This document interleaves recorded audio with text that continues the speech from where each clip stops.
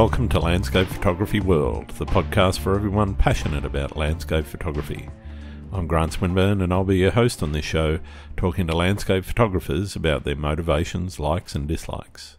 Vaughan Laws, a Melbourne based landscape and weather photographer, discusses his photography journey from capturing family moments with his first DSLR in 2013 to delving into light painting and macro photography.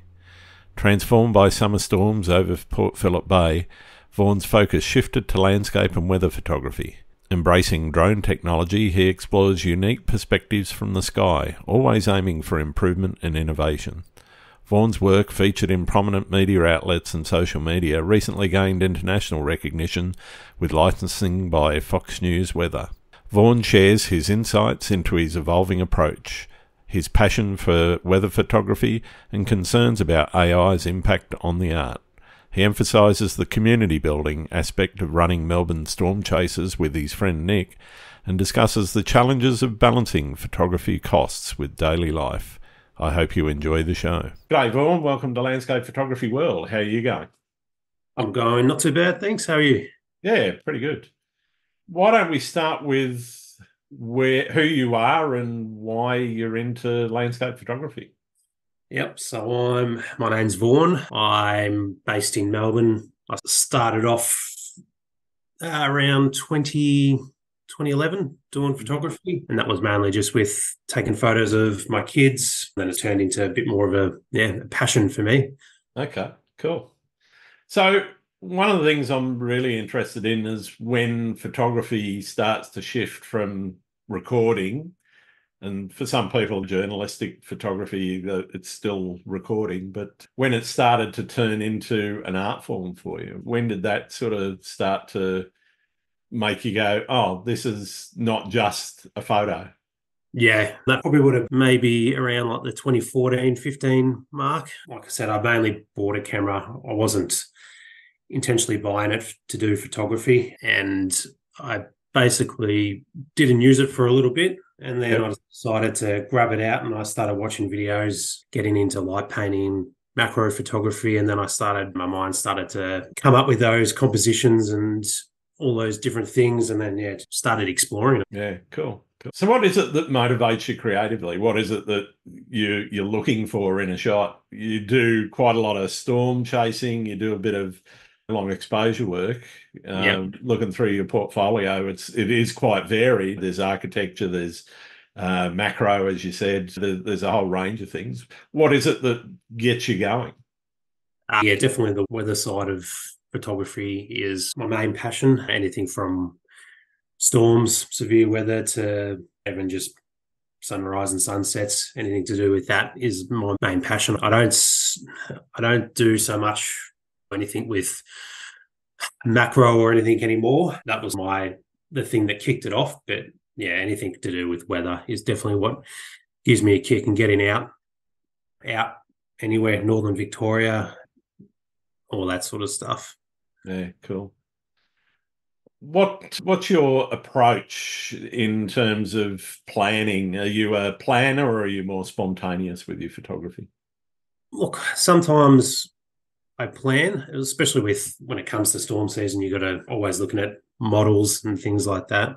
But yeah, it really depends. So for that sort of stuff, I'm definitely looking ahead and planning. Obviously, trying to get things in place with with my kids, getting them looked after so I can go out. But then on the other hand, I, I just go out and sometimes just spontaneously go somewhere and go shoot and hope there's a good sunrise or sunset. Yeah, in terms of you shoot in and your style, do you have a specific feeling or style that you're trying to aim for? Uh, I don't. We don't have a, a certain style. I guess everyone's got their own sort of ways they like to shoot a scene. Mine's definitely, I think mine's definitely adjusted over time. You always change the way you try and frame up images or just even looking around wherever you are, trying to find something new. But yeah, I don't have a, a certain style, I'd say. Yeah, okay. Is there are there any particular photographers that you'd say have influenced how you shoot? There's lots. I say it's not necessarily probably a handful of photographers. I just I always look at everyone's work and you always strive to better yourself. You always want to be as good as you can be. Yeah, yeah. How did you, you, you mentioned you started watching videos. Are you completely self-taught through videos or have you gone through any formal No, I haven't done, no, haven't done anything formal. So yeah, I was all self-taught. I learnt just through videos, learning the settings, doing that sort of stuff, all the exposures. Then it was just basically learning trial and error.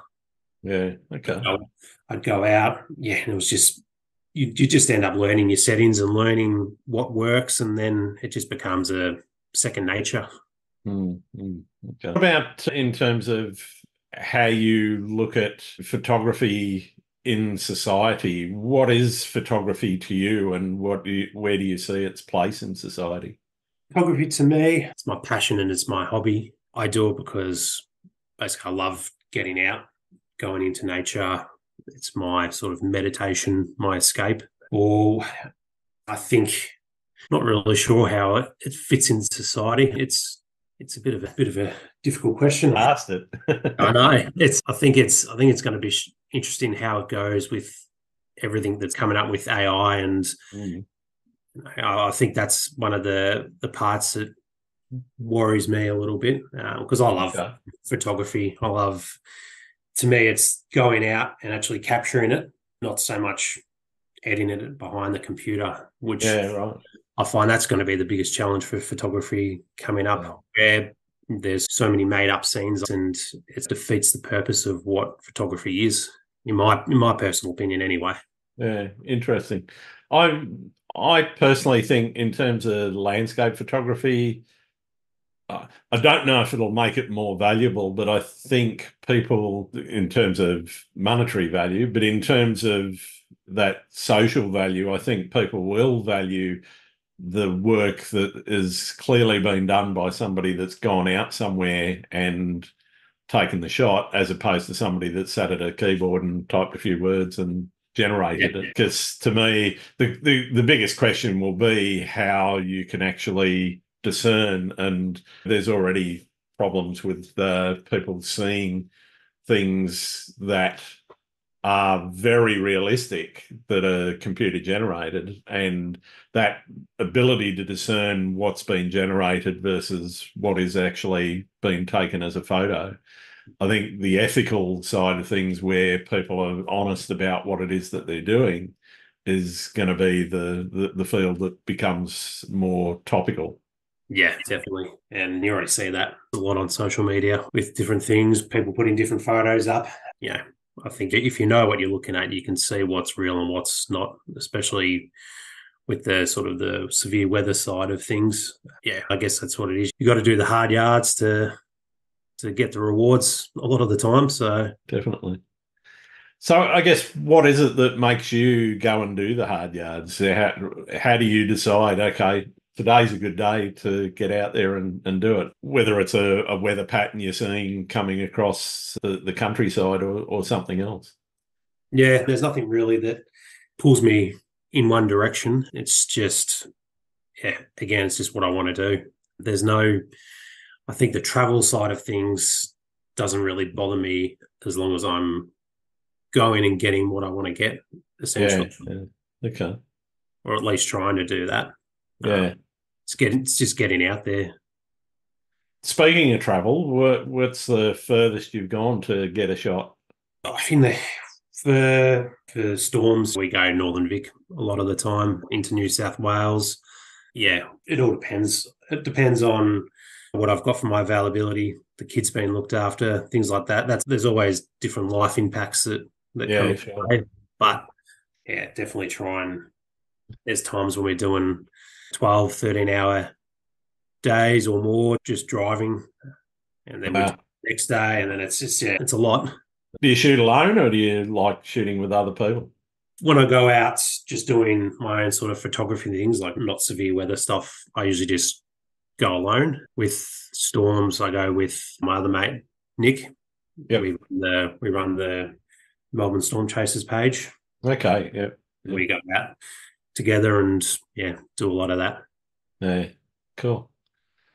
You mentioned, and you mentioned it a couple of times about the dealing with getting kids looked after and so forth. How do you balance? You work full time, photography is a hobby. How do you balance everything in terms of relationships, work, and your passion?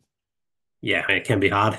It can be hard a lot of the time. My partner is you know, very supportive of photography and me going out and doing what I want to do.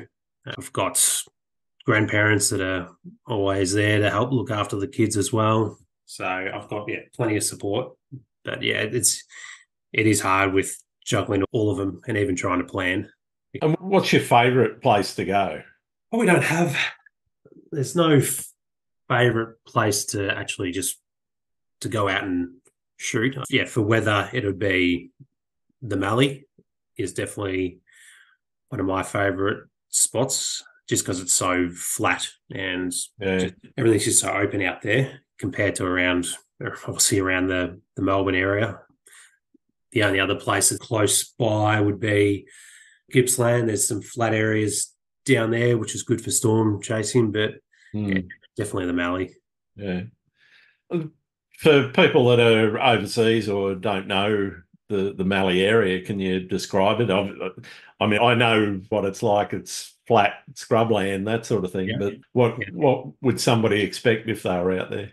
Oh, it's just basically flat red dirt roads, very grid like structure, paddocks with just dead trees, and yeah, it's probably I guess it's probably similar to what parts of the alleys like in the States, where it's just that sort of nice yep. flat land. Yeah, you get massive scenes coming over in the sky, which is awesome. Yeah, yeah. So not many features, but some and enough on on the land to give you yeah, uh, and you're, you're but... yeah, you always have whether it's dead trees or old sheds or farmhouses or old windmills or whatever it is. There'll be there's always something to get a, a good foreground object in there. But yeah, most of the time you don't even you're not too worried about that because you're just looking mainly at the sky and what's coming towards you. Yeah. That's what I used to be very concerned about what was in the image. And sometimes I'd end up missing the main point that I was out there for shooting the storms. But yeah, okay. Now, yeah, my focus is on actually capturing what's coming towards me. Yeah, coming what what's happening in the sky. Yeah. Yeah. yeah. What's your most memorable experience out shooting? I don't know, probably the local there was one when we had a severe storm coming across Port Phillip Bay. That was probably a good one for me to remember. Not so much because I was out anywhere special. I was just down at my local beach in Frankston, but just the just seeing the sheer size of the shelf cloud coming across, flashing away. That was, I think it was more probably more memorable because of everyone that was on the beach pretty well stopped to witness what was coming as well. Normally, when people see a storm coming, they just start packing up and heading off. Where this one, everyone was just sitting there actually watching what was happening. So it was very, yeah, a bit of a surreal thing because most people don't really always care about what's happening in the sky. Yeah, yeah, it is interesting when when you see a lot of people stop what they're doing and just look up. Yeah, that's when there's something. Yeah. So, what about horror stories? Have you had any issues while you're out? Not too much. I've had everyone's one where you forget an SD card or something like that. travel a travel a few hours away and you go, I don't have an SD card, but I've been lucky enough to go to a shop or something if there's something nearby, or yeah, nothing too much.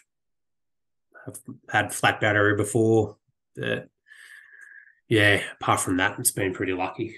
Yeah, okay, fair enough. What have you learned about the world through photography?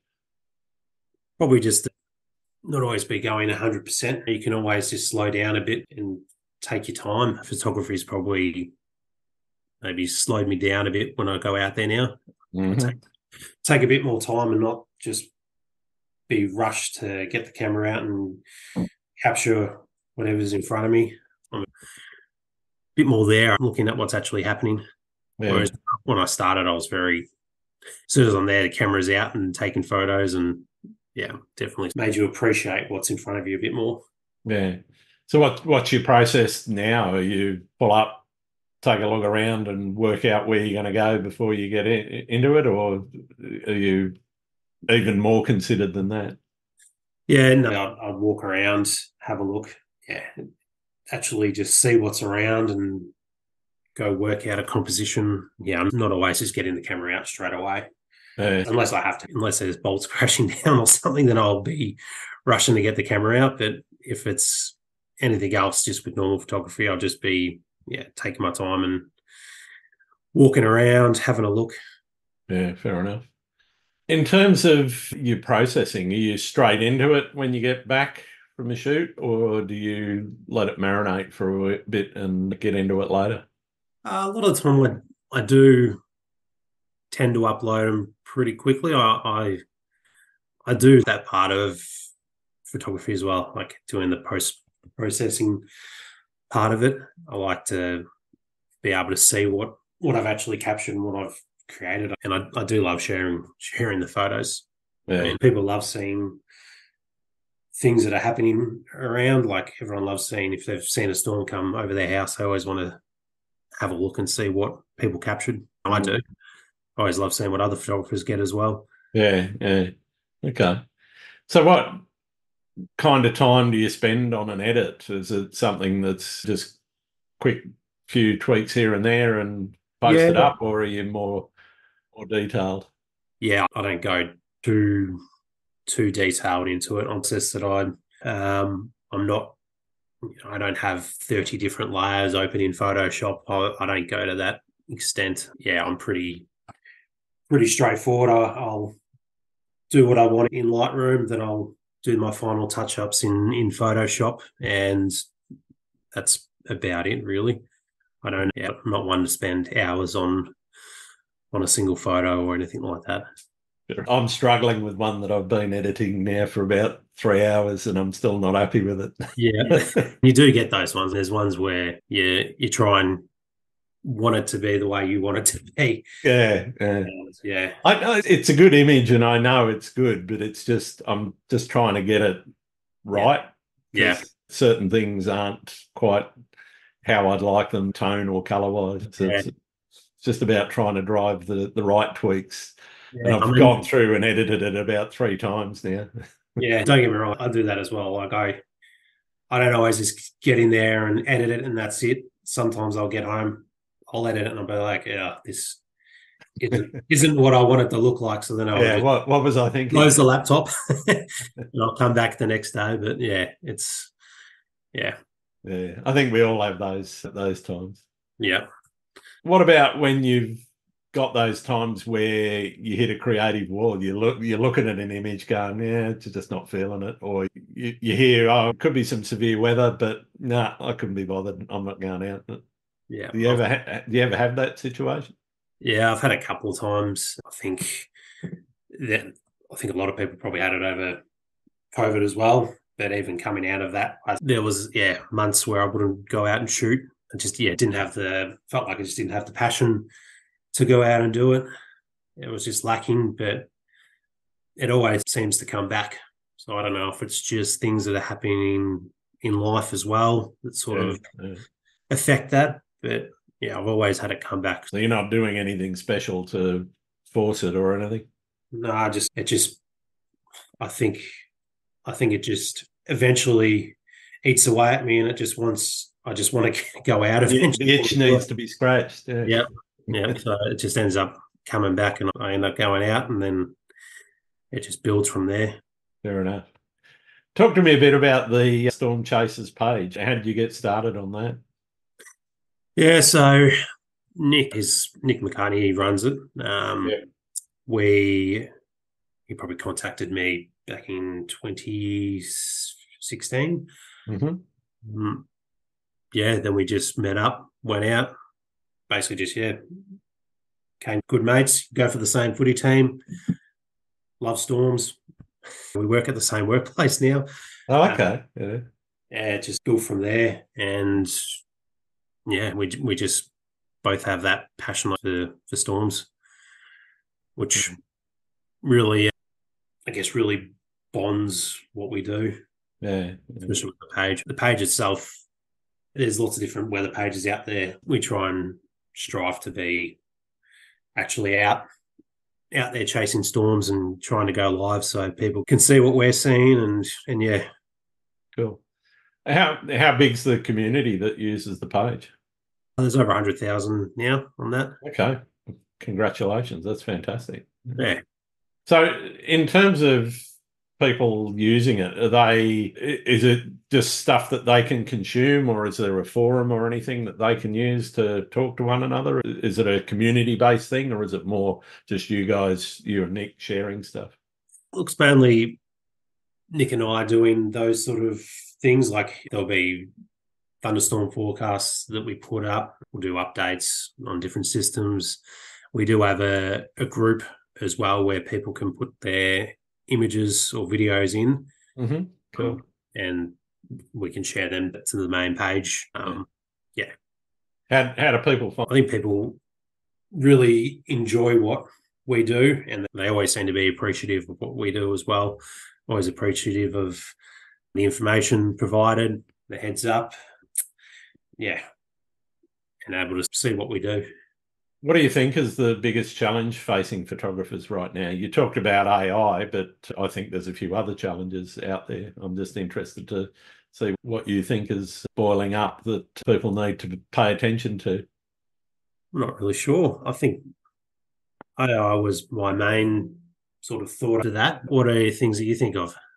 I think just the volume of photography that's out there is one of the biggest challenges. The other one, and and it's in particular for landscape photographers and and nature photographers, is just uh, climate change. I think they're they're probably two of the two of the biggest challenges. Um, for me, climate change is just you know going to become a, a bigger and bigger issue. I think photographers can play a part in helping document some of that, but there's not much point in documenting it if we if we all cark it. Yeah, but yeah, there are. I do what I do know what you mean with those both those ones, especially the the amount of people doing photography these days. Yeah, I, I- think the, the the challenge there is it it, it is devaluing for photographers that are trying to make a living at it. It's cer- certainly devalued photography in a lot of ways. There's a lot of photography out there, some of it good, some of it rubbish. There's, there's always going to be a spectrum, but I think just the volume of photography that is out there and the amount that gets shared makes it really challenging to get noticed. Yeah, it definitely does. Everyone's got a camera in their pocket now, so mm-hmm. it's yeah, it gets hard. And I- Yeah. I've definitely- definitely noticed that with even just weather events. You can everyone's got a phone, they'll record it, try and take photos. Yep. Most phones are almost as good as some DSLRs now, so it's it is hard. Yeah, I think I, I- still think phones are uh, a few years behind the sort of mainstream large larger format camera bodies, and that's just uh, by dint of the sensors. But I think the software and so forth that's being used, some of it AI, some of it not, the software that's being used on those now just makes it so much easier to take really amazing shots with iPhones if you know what you're doing with it.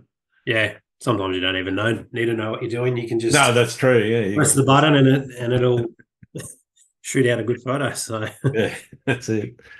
Where do you see the future of photography going? Well, I think AI is going to take a big sort of part in photography. I, I hope it doesn't, you know, take away too much from people's efforts of actually going out and taking photos. That's just one of my main main concerns. Yeah, yeah. What's your favourite thing about being a photographer? Favorite thing, I think my, my favorite thing is just actually going out and seeing all the different places that you get Yeah. to. That's yeah, that's definitely my favorite part of it. I think all the different places that you probably just wouldn't go to if I wasn't going there for a purpose to take photos. Yeah, yeah. Be going out to all these places. What's your least favourite thing? Uh probably the the cost behind it. Yeah. the cost of just comes down to everything. The, yeah, it's an expensive I, addiction, isn't it? Yeah, driving to places, the cost of cameras and accessories and whatever else comes along with it, computers, stuff like it's just a it's a never ending thing and it always feels there's something that needs to be updated. Yeah. Yeah, definitely. Definitely. It's like a new iPhone every six months. yeah, that's it. And what do you like to do when you're not out shooting? I don't know, like I just normally just hang around with hang out with mates, go out with the kids, just normal life to life stuff, day to day to day things. Just yeah, nothing in particular. Cool.